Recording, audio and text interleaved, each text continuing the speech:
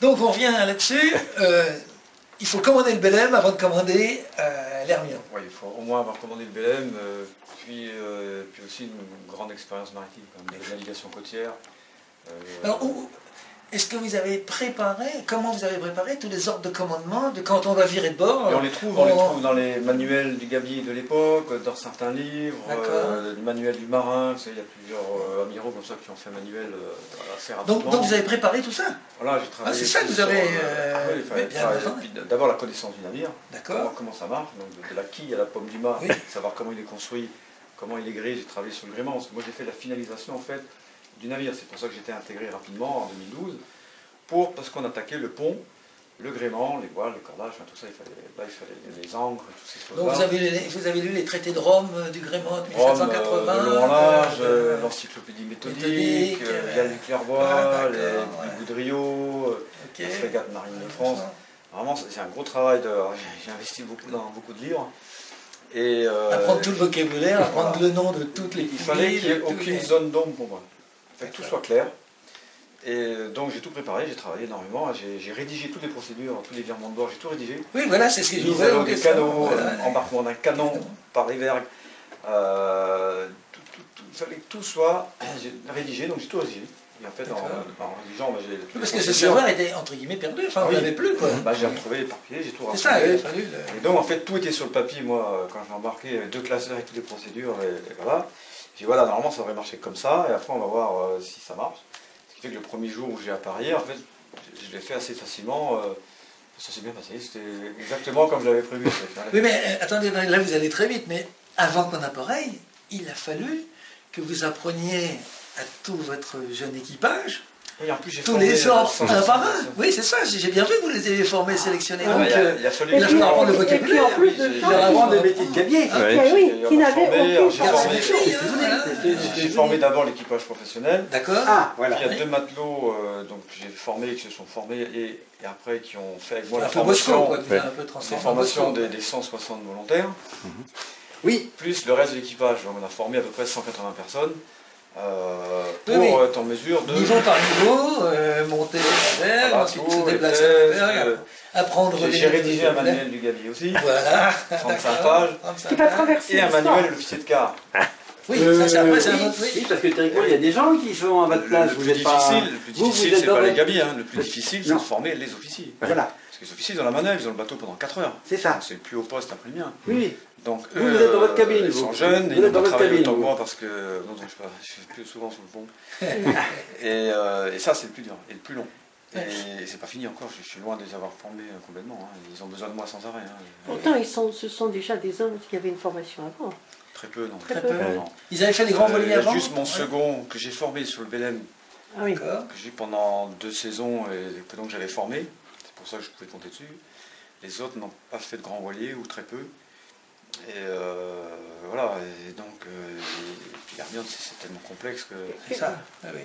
Quelle chance Oui. ils ont. Parce Et vous n'avez pas eu, pas des gens de la marine nationale qui venaient de la Delpouille, qui venaient là, qui auraient pu Très avoir peu, déjà si, quelques connaissances de, On a deux. de la manipulation d'un bateau à voile. euh. Vous avez pris pratiquement personne de À la marine a détaché Golène, euh, non quatre personnes. 4 personnes Les Golènes n'ont pas voulu lâcher leur, parce qu'en fait ils sont détachés, euh, mais du coup ça fait un vide sur le bateau euh, où ils partent. Ils ne sont pas remplacés à bord. Qu'ils viennent Ah ponctuellement, mais oui, Ah ils oui. quelques mois, ils reviennent. Et donc la, marine a dit touchez pas aux golettes. Donc on a eu des gens qui avaient un qui a fait quelques semaines sur une golette, c'est tout. On a eu deux Pas- matelots de pont et, et un cuisinier et un, et un maître d'hôtel. Et vous n'avez pas eu, par exemple, un timonier pour apprendre à vos. à- non, à vos. Comment dire, à vos, vos Ah, ouais. futurs membres d'équipage. euh, Qu'est-ce qu'être timonier Comment on barre un bateau Comment. Ils savent pas, personne ne sait barrer un truc comme ça. Oui. Parce que quand on va avoir un bar à. Renam, ça Ah. va être quelque chose, là. Parce que avec le prêt, ça va les entraîner, là. hein, Parce qu'il y a quelques heures de prêt, là. C'est plus simple. C'est plus- Euh, ouais. Le prêt, le bateau il marche tout seul. Hein. Vous lâchez la barre pendant une demi-heure. Il est euh, équilibré, il est bien. Une fois que le- la voilure est bien réglée, c'est. Pas un degré de cap. là. Ouais. Ne barrez pas le bateau, vous le laissez faire. Bon, il y a de la houle sur l'arrière du travers, euh, évidemment. Mais euh, non, non, c'est un bateau qui se barre bien. Bon, on a appris à. C'est sûr que nous. À régler les voiles de que vous avez au droit. début. Le problème, c'est qu'on a eu trois jours à peu près potables. Ensuite, on est parti dans les coups de vent. Force 7, force 8, force 9. Voilà. On a eu 7 coups de vent en 6 semaines. Jusqu'à force 9. Ah, C'est sympa pour les. Si je comprends le trafic maritime, voilà, Mais- tous les sens, c'était le cauchemar. Donc ça, je suppose que salut grain, vous avez appris très vite. Ouais, arrondir les caps et Et ça vous, avez eu beaucoup de malades euh, dans, dans, dans- Pas trop, non. pas le trop, bateau non. ne rend pas malade. C'est le bateau qui a toutes les qualités, Ouais. y compris Non, qu'il ne pas rendre malade. Il est très doux. Il n'y a pas de tangage. Ah Le bateau qui ne tangue pas. C'est marrant ça. Ah oui, bah, moi c'est la première Oui, fois mais- que je vois ça aussi. C'est aussi parce qu'il s'il tangue trop, il casse le beau Bah, prêt. euh, non, non, il est mort. Enfin, le beau- il est mort. Oui. Oui. Il est mort, c'est fond. Oui. Il ne faut pas qu'il tangue. D'ailleurs, Mm. c'était une des qualités exigées euh, dans les commissions euh, de recette des navires. Et d'ailleurs, dans les devis de retour de campagne, on voit Mm. il y a un article sur le tangage. Tout fait. L'Hermione, c'était marqué tangage Tangage doux. oui c'est ça. je Mais euh, moi, j'ai dit tangage nul, il n'y en a pas. C'est-à-dire qu'il y a une vague qui arrive, Oui, le il change monte, un peu, oui, il c'est monte, tout. après c'est tout l'ensemble du navire. Qui redescend. Il n'y a, jamais de mouvement comme ça, oui.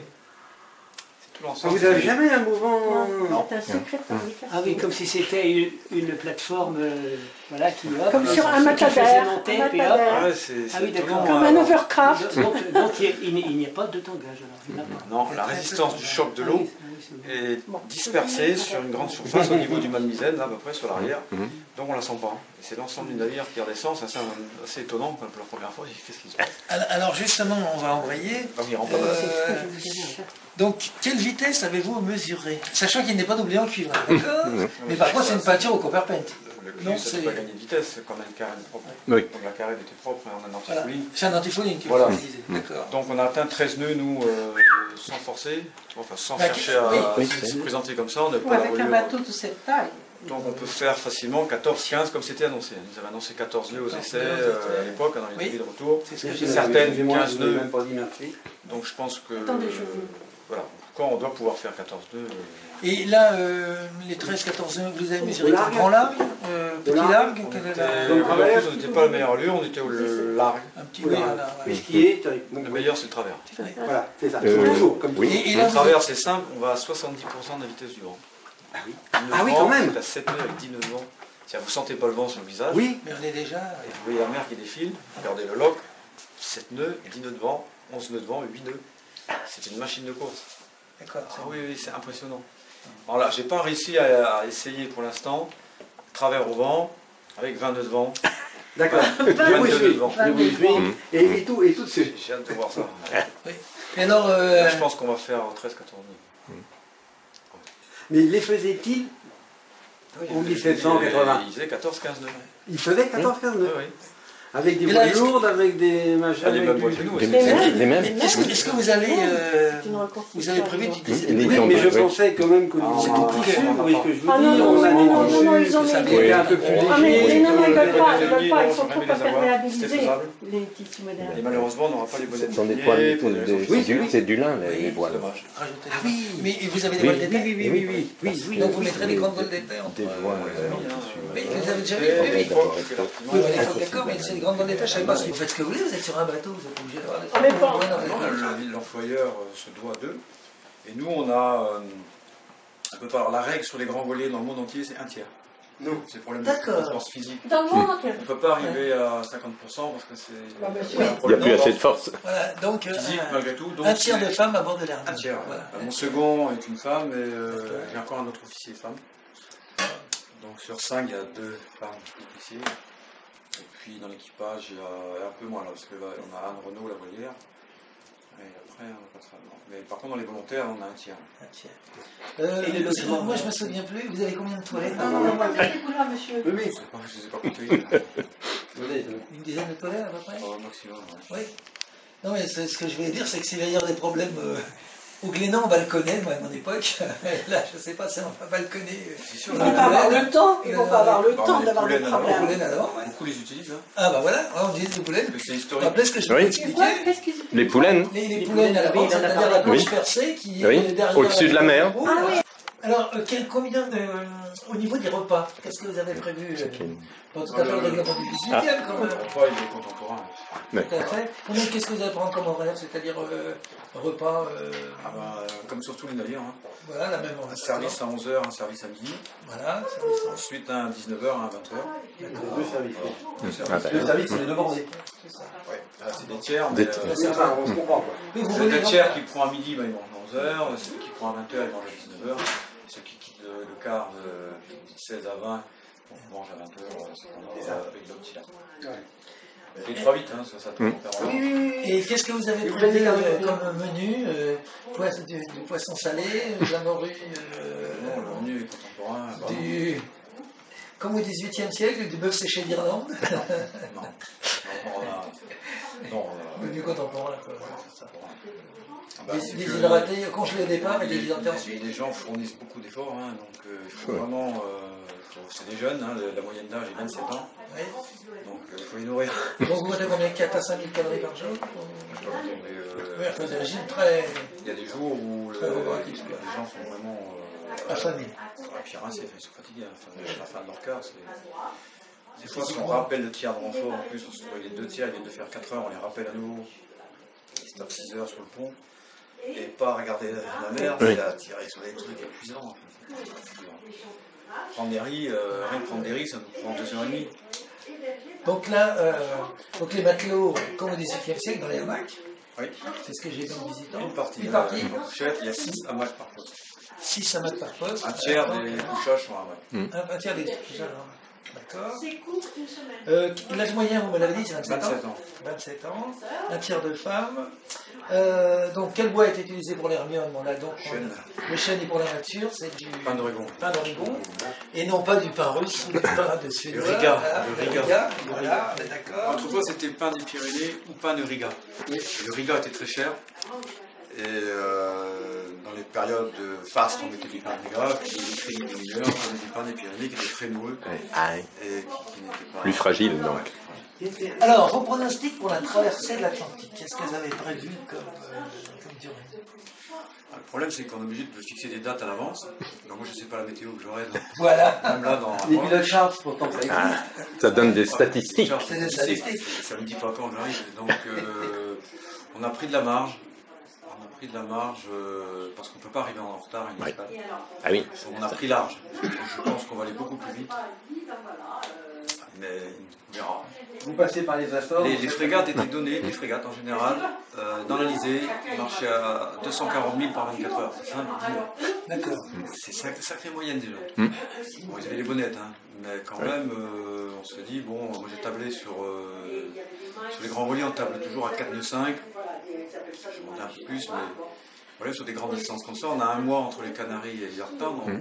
on peut arriver avec plus, plus de 10 jours de d'avance. Ah, si vous n'avez pas l'Alizé, si vous le perdez, si- Non, si, c'est au contraire, si on a le- la visée favorable, on peut arriver avec. avec de l'avance. 10 jours d'avance. Oui. Oui, oui. ça, vous, Donc avez prévu de jeter des seaux à l'eau pour vous freiner comme on faisait autrefois dans les Non, le, le principe sur tous les voiliers, c'est on fait de la route maximum tant qu'on peut. On ne sait pas ce qu'il y aura après. On ne peut pas se permettre de perdre euh, une heure. Voilà. On avance au maximum. Mm. Et quitte après à improviser sur le final, euh, il y a les Bermudes, et on peut patrouiller le long de la côte américaine. D'accord. Voilà, on, après on attend, même si on est, ça m'est arrivé d'arriver avec 5-6 jours d'avance. hein. Bon, on fait un autre programme à ce moment-là. Mm, mm, mm. Les entraînements, Oui. la patrouille. Oui, oui. Donc Mais- le, le- le premier port américain, c'est Norfolk Yorktown. Yorktown. Oui, Norfolk. ouais. Au nord de Norfolk, à Hampton Roads, Hampton Roads, oui, formalité. Bon, ben moi je pense que ça faire une interview très satisfaisante et donc euh, on sera ravi de la montrer aux États-Unis. Et commandant, je vous remercie de nous avoir si favorablement répondu. Et donc je vous enverrai les coordonnées, donc il faut que vous voyez en, en ligne l'interview. D'accord. Euh, enfin, le temps que ça soit traduit, parce que comme ça être traduit aux États-Unis pour que tout le monde le regarde, on a bien trois semaines, quatre semaines. Enfin, quand vous arrivez aux États-Unis pour aller vite. Ah non, mais oui, très bonne question. Enfin, non, on filme, on fait pas. Euh, vous recevez Internet à bord du bateau, vous avez Oui, des. oui, oui. Ah bon, alors à ce moment-là, peut-être que. Ah, on pourra le voir Hmm. voir. Voilà. Les connexions sont rapides, parce que c'est Une place qui euh, s'attend là-bas.